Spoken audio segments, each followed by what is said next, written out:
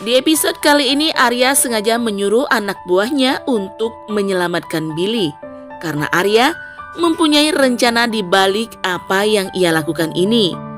Arya tahu kalau saat ini hubungan Ruben dengan Billy lagi tidak baik.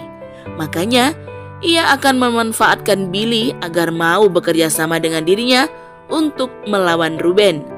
Apalagi kini Arya telah mengetahui kalau ternyata Ayu telah bersekongkol dengan Ruben, berusaha untuk memisahkan dirinya dengan Arya.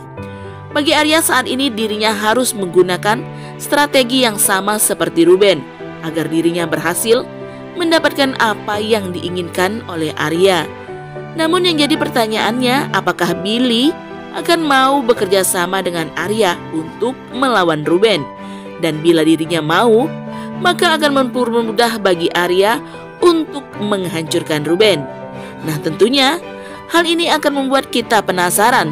Untuk lebih jelasnya, saksikan kelengkapan ceritanya malam ini di sinetron Cinta Setelah Cinta yang pastinya hanya di SCTV.